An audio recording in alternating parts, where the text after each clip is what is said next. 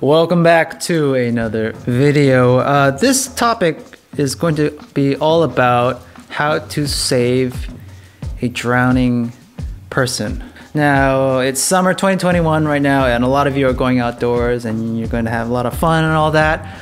But summer is the worst season when it comes to swimming because there's so many people that don't know how to swim and unfortunately a lot of drowning occurs uh, recently i saw uh, a video of uh, a man that tried to rescue a child that was drowning in the waters and he swam towards the child and he he he rescued the child but unfortunately he ended up drowning and dying, and then the child was saved. This happens all the time, so it's not a shocker for me.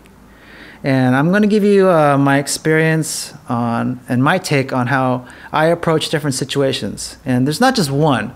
So there's not just one uh, be all solution. Uh, the three variables, first of all, three variables that I look for in any situation when it comes to someone that's drowning are is there a lifeguard or, or there are no lifeguards monitoring the environment.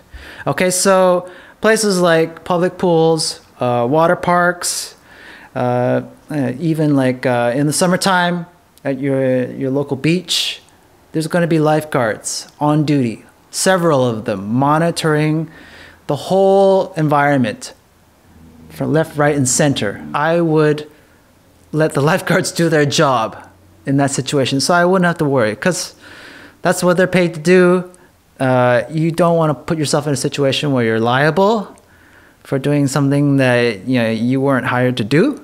So leave it up to the professionals in that situation. You know, even if I am a lifeguard and there's a lifeguard on duty and I'm not, I'm not working, I let the lifeguard do the job, but I will assist them if I can. Second variable that I look for is it is the victim, the drowning victim, a child or an adult? Yes, it's true that when we are in the water, our bodies become lighter. However, uh, lifting or towing a child's body versus an adult's body, it's like night and day. Okay, you will feel the difference in your arms and your in your in your rescue.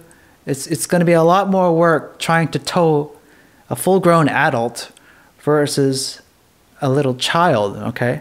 You can pick up a little child with, with one arm in a rescue because they're that light. But for an adult, you, you definitely need both arms holding on to them and towing them to safety. There's also uh, another factor when it comes to child versus adult. Children are more adept to listening to authority. Okay, so in a situation where I say, don't fight me. Don't grab onto me. I'm gonna go from go to you from behind and pull you to safety. A child will listen. All right. But if you tell that same thing to an adult, they might not listen to you. The, the final variable that I look for, the third variable, is whether the, the victim is conscious or unconscious.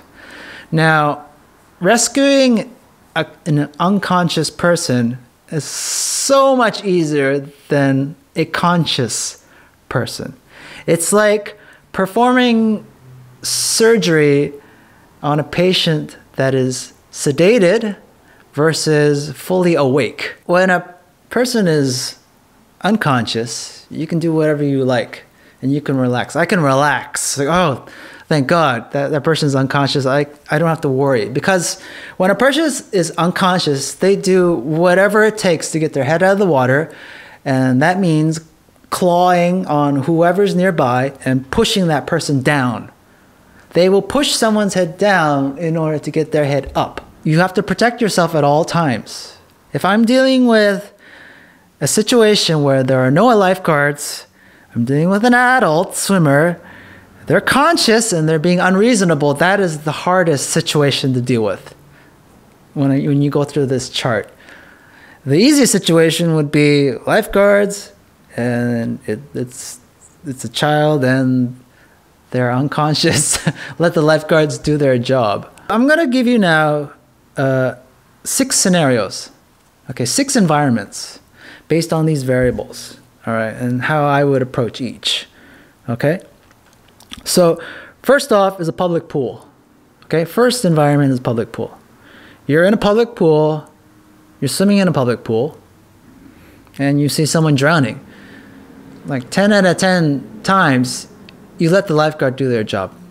Okay, you just stand back, give them as much space as possible, assist them if they need assistance, which means, I don't know, calling 911 or alerting the, the lifeguard head, head office, or just, just staying back, just standing back. Because usually people in that situation, they, they, they see someone drowning, they all panic, oh, and they all crowd around, they all look and they want to see, hey, what's happening? What's you know, just give the give the lifeguards room to breathe and let them do their job. Usually, lifeguards, how they handle it is, or if I was a lifeguard, I would use my rescue tube. Okay, the rescue tube is that big tube that you see lifeguards carry with them. That is their best friend. Okay, that thing can carry a child or adult easily to safety. So they they put the tube underneath the victims, right? Underneath their arms, in front of them, right? And they just hold on to it like this, put them on their backs, and then they just tow them from behind to the wall, nearest wall, to safety. And they usually do that by holding the victim's armpits or the rescue tube, and they perform egg beater Okay, now if you don't know what egg beater is, it's, it's just one leg circling the other like this. So treading water is the same motion. Arms like this, our feet look like this. And we just egg beater, and we go back, backwards, towing the victim that has a, a rescue tube around them. Uh, next scenario would be a hotel pool. Now, hotel pools usually don't have lifeguards on duty. To protect themselves, hotels usually install you know, indoor pools that are shallow depth. So the water goes up to uh, chest high for an adult. But for a child, chest high is like this. It's usually a kid. Nine out of ten times it's a kid, actually. the kid's gonna be like this, panicking. You just grab them by the armpit and just reel them into safety to the wall. Make sure you grab their armpit. Always grab their armpit, never the arm. Never the hand, never the elbow, always the arm. Always grab the armpit. That's, that's the secure spot right there. That's a good place to grip somebody if you want to tow them to safety. The arm can slip, elbow slip, hand slip, bicep slip. It all slips when water is involved in the equation. So always grab them by the armpit, tow them to safety. One arm, two arm. Usually one arm again, because it's a child. Okay, now we're getting to some interesting territory. Okay, ocean. Ocean. Okay, now some oceans are not monitored by lifeguards. Say if you're at a private beach, maybe you you ventured off into like some area that's secluded. There's not many people around. Maybe there's nobody around. Maybe it's just you and you just see someone who happens to be in the water in the ocean. There's so many variables, and a lot of it is a lot of factors go against you because there's no pool noodles. There's no kickboards or life jackets on hand. There's no lifeguard probably in that situation. The best thing you can hope for is that the person is wearing a life jacket when they're in the ocean. So, for example, when they're jet skiing or on a yacht or uh, they're doing paddle boarding or canoeing, and if they fall off their kayak or paddle board, they can relax with the life jacket on. If they're not wearing a life jacket, oh boy. Yeah, that's that's what everyone that's what every lifeguard prays won't happen, but it, it can. So in that situation, you're going in. So I would do a head up front crawl in the ocean. I say, Sir, I'm going to come up from behind you and I'm going to tow you to safety.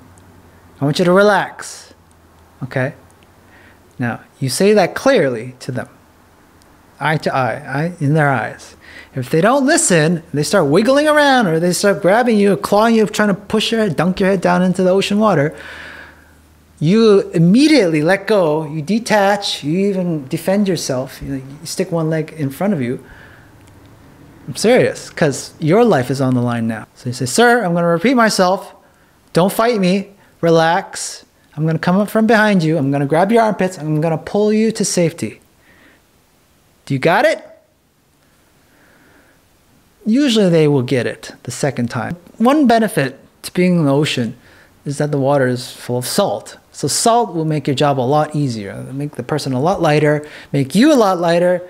So towing a, uh, a heavy adult, maybe who's maybe twice your size, it happens, with both hands in their armpits, pedaling backwards, doing egg beater, it's going to be a lot easier than being in an indoor, indoor pool. Now, if a person is unconscious, your job is to make sure that their head is away from the water.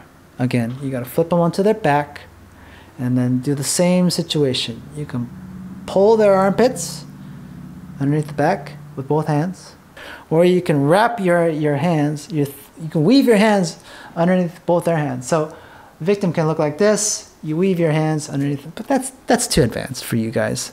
You won't remember all of this. So just grab them by the armpits, both hands on armpits, Make sure the head is out of the water. That's my take on uh, how to rescue a uh, drowning person. Uh, leave your thoughts, comments down below, and maybe your experience on uh, how you encountered someone drowning. Thanks for watching. My name's Justin. Take care. Bye bye.